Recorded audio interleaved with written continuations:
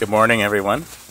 It's July 16th, Monday, and I'm at the silver maple bee tree, which got new bees in it about two months ago, maybe a little bit longer.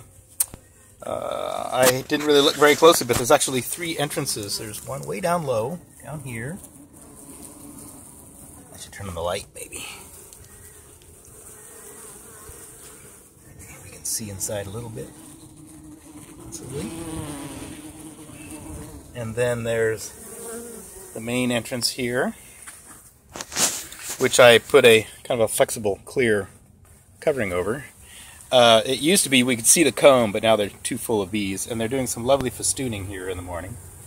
And then, lastly, but not leastly, there's this third top entrance here, too, where they are busy in the morning. It's a little bit after 6 o'clock, the days have been getting into the mid 90s, so they wake up bright and early and ready to rumble. I do love bee trees, and I hope you do too.